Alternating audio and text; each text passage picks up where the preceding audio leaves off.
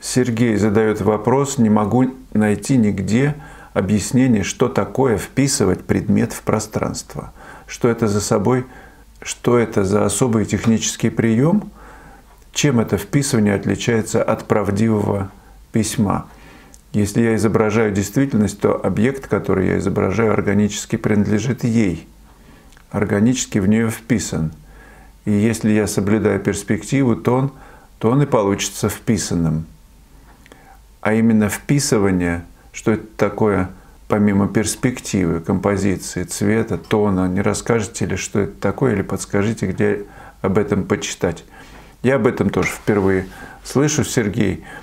Но если так поразмышлять, то мне ничего не приходит на ум, кроме того, что любой объект, который находится вот в мотиве, который мы закомпоновали, самостоятельным объектом не является.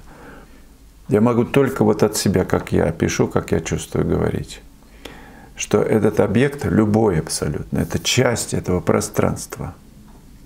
Мы пишем пространство – это некая мозаика цвета. И объект, прежде всего, не объект. А я смотрю на пятна, которые я вижу в, в этой компоновке, в этом кадре. Чему принадлежит письмо? Второе дело, потом, форма потом. Сначала мне из пятен, из конфигурации пятен, которая меня привлекла, нужно составить композицию. Может быть, автор вот этого термина вписывать объект пространства имел в виду это. Но то, о чем я говорю, мне достаточно для того, чтобы писать. Первостепенный взгляд в кадре на конфигурацию пятен. Вот достаточно. Потом в этих пятнах я нахожу точные очертания или неточные, в зависимости от стиля, от, от моего настроения в этот момент, объекта, которые или объектов, которые там есть. Живопись формирует эти пятна. Это пятнопись такая. Они завораживают. Ну, представьте, тень может слиться, например, тень падающая с тенью собственной от объекта. Это уже одно может быть пятно. Форма этого объекта, который дает тень, потом. А пятно решает композицию. Мне кажется, это достаточный прием, чтобы хорошо писать профессор живописи Козин в, Риге, в Рижской академии делал такие замечания студентам, э, чтобы они не очень увлекались рисунком в живописи, а писали, что в живописи нужно не прорисовывать форму, а писать ее, то есть на отношениях этого мазка там, к фону. Врубель говорил, что в природе нет контура. Мы придумали его, в живописи же его нет, вот лицо мое. Какой здесь контур? Есть тон лица, есть тон стены. Или там этот тон к лицу и к, еще к чему-то. И отношение там светового пятна к теневому и к стене играет роль. Заложив его, попав точно в тон и цвет, получается живопись. Что еще больше нужно, я как-то не знаю. Если кто-то знает, друзья, помогите – что такое вписать предмет в пространство? По мне так пространство не отделено от объекта в живописи. И вы, на мой взгляд, Сергей, совершенно правы в том, что если соблюдаются все основы, тон, композиция, цвет, то этого достаточно. Давайте вместе поразмышляем. Может быть, кто-то знает ответ на этот вопрос. RC Russia. Вы называете себя импрессионистом, но, к сожалению, ваша манера письма далека от, от этой манеры. Неужели вам никто про это никогда не говорил? Все время говорят, в какой вы импрессионист. Все время, каждый день. RC Russia. А кто, по-вашему, импрессионист? Вот по мне тот, кто пишет впечатление – то есть он не слепо копирует то, что видит, а пишет свою интонацию, вносит свою, свой восторг, свое впечатление, свое ощущение от того, что он видит. Ну как это? Давайте назовем еще как-нибудь меня. Ну помогите, назовите. Это даже интересно. Я уже раньше говорил, что это условное понятие. Я просто вынужден это слово импрессионист использовать, потому что не знаю, как обозвать тот стиль, которым пишу. Ближе, ближе к импрессионизму, потому что это впечатление, ощущение. Ничего более. Но если вы считаете, что это не соответствует живописи, которой я увлекаюсь, ну давайте вместе как-то это переживем.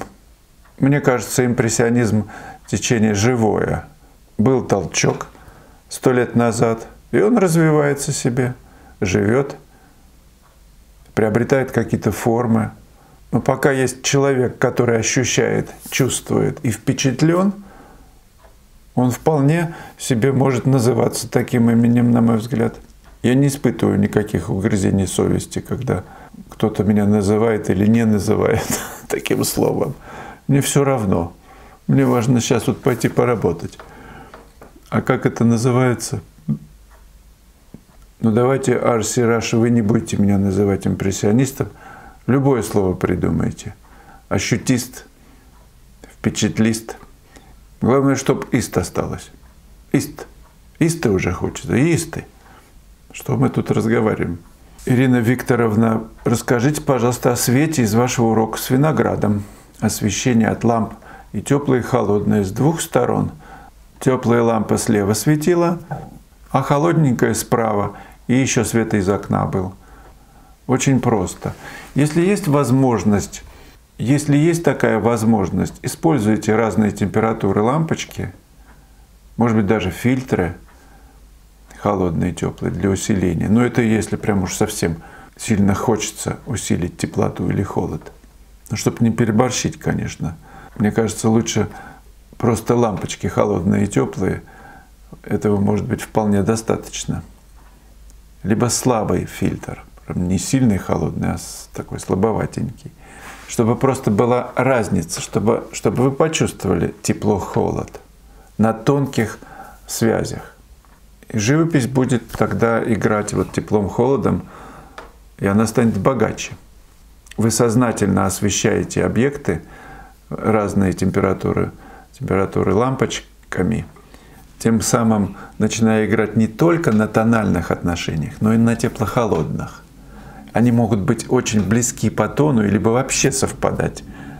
Но за счет разности температуры, разности цвета, теплохолодности, это может быть удивительно и выигрышно. Можно такие нежные писать работы. Только за счет разница тепла и холода. Представляете, тон один, а цвет разный. Это очень могут быть мощные эксперименты. Спасибо, Ирина Викторовна, за вопрос. Друзья, вы там не забывайте свою работу делать. Делитесь с друзьями, если не подписаны, ну нажмите уже кнопочку вправо там на экране, буква К, подписаться. Ну и лайки. Каждое видео требует лайков, тогда канал развивается, сказали. Ну там знают, как развивать.